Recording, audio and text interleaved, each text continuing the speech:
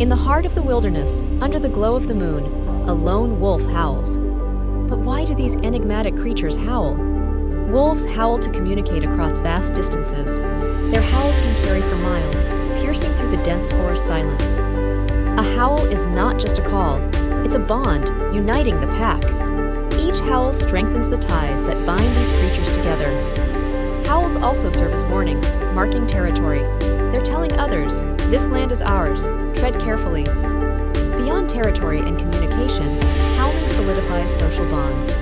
It's a way of expressing position and unity within the pack. Sometimes, a howl is a song of loneliness, a call for companionship, echoing through the night, hoping for an answer. Wolves howl for many reasons communication, unity, territory, social bonds,